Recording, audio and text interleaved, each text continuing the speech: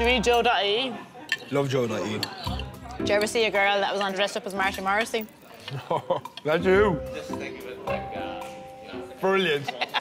Brilliant. That is class. Thanks. Marty Morrissey. Yeah, Ah, that's me.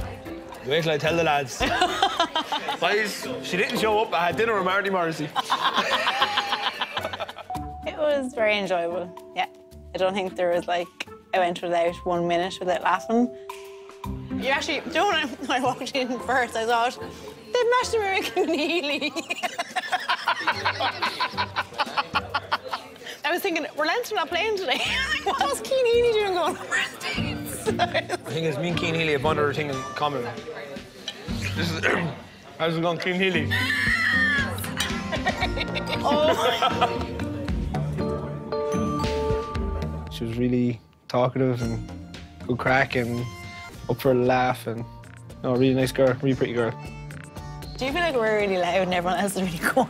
Oh ah, fuck. Who cares?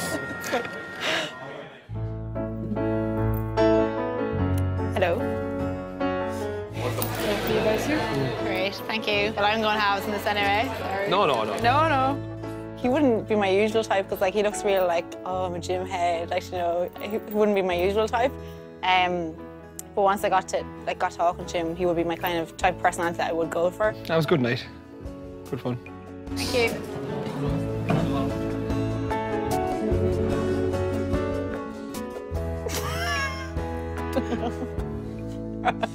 Oh, sorry. I...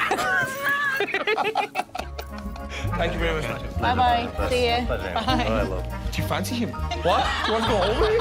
Oh my god! Call me. Call me. Do you want to see each other again? No.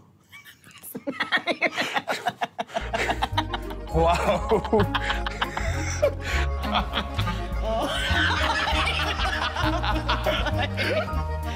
oh, that was Caesar.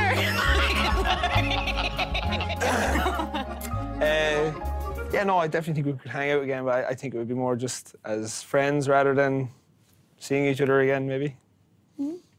Maybe. Yeah. I was joking when I said no, by the way. All right. I don't really think that there was that bit of a spark there, kind of, you know, that you want to just grab them and tear their clothes off. And I just don't think the two of us clicked that way. Evidently not. I definitely think we could be friends and really good friends, but I just I, I didn't feel the spark there for a, a relationship of anything like that.